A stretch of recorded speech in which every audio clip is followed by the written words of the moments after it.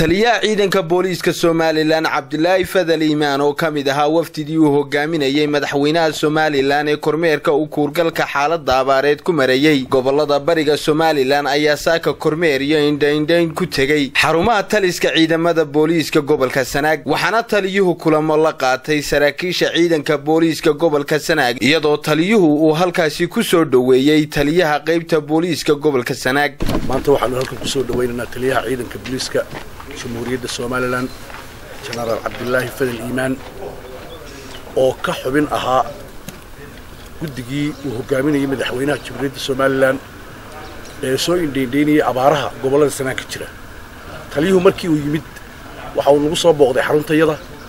waananu ku soo dhaweynay haddana waan ku soo dhawaynaynaa taliye. Taliya waxaa halkan kugu diyaara dhammaan ciidankii qaybta booliiska ee gobolka sanaag oo dhan oo kuleel ku soo dhowow taliya gacmo furan intaasi kadibna waxaa halkaasi ka hadlay taliyaha ciidanka booliiska somalilan cabdulaahi fadal iimaan. Ee boliiska ee qaybta gobolka sanaag wixii shaqo ku muqnaan wixii kale halkan joogay taas oon ku dardargelinayay howlaha ay u hayaan qaranka qaybtay nabadgelyada iyo islamarkaana aan ku baraarujinayey xaaladaha abaareed raashimada wixii taakulayna inay ilaalintooda iyo nabadgelyadooda iyo wixii waajiba ay leeyihiin ka qabsadaan iyo howlaha kale ee nabadgelyada iyo ay qaranka u hayaan oon ku baraarujinayey arrimahaas ayaan kala hadlayay ciidanka. Si fiican halkan waxaanan ka ammaanayaa dhammaan ciidanka booliiska ee gobolka sanaag iyo ciidanka kale ee howlgalka u jooga iyaguna ee ka tirsan ciidamada ee hargeysa ee ceelfoyn jooga. Oon iyagana halkan ammaan uga soo jeedinayo. Oon leeyahay aad iyo aad waxaan leeyahay waa naftood horayaal dadkooda iyo dalkooda u adeegaya u shaqaynaya